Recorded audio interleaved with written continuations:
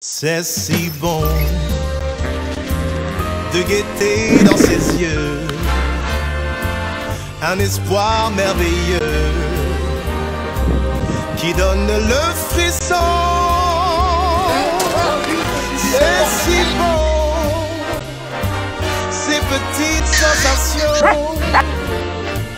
Et si nous nous aimons, c'est parce que c'est si bon.